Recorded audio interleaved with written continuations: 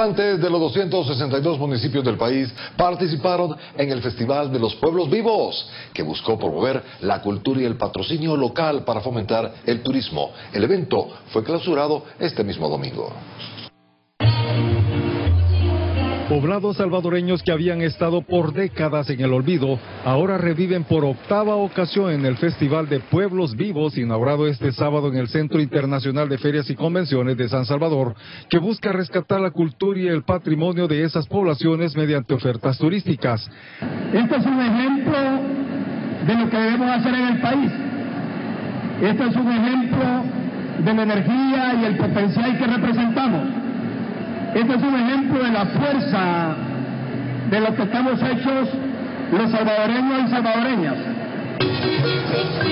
Además del turismo, la actividad pretende fomentar el desarrollo de las comunidades, muchas de las cuales no habían tenido medios de subsistencia y habían sido ubicadas entre los poblados más empobrecidos de El Salvador.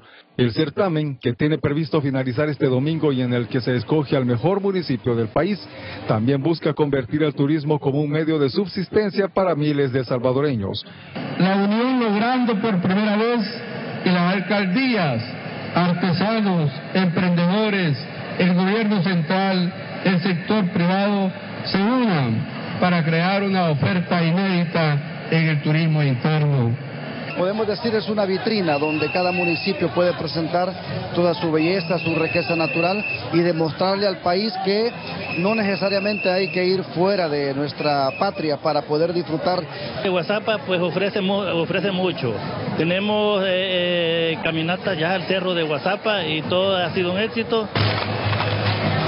En 2015 el rubro turístico dejó jugosas ganancias al Estado con un ingreso de 128.2 millones de dólares, aunque las autoridades de turismo esperan que este año la cifra alcance los 145 millones de dólares con los 9.4 millones de viajes turísticos por el territorio nacional. La actividad inició con un colorido desfile en el que participaron los 262 municipios del país.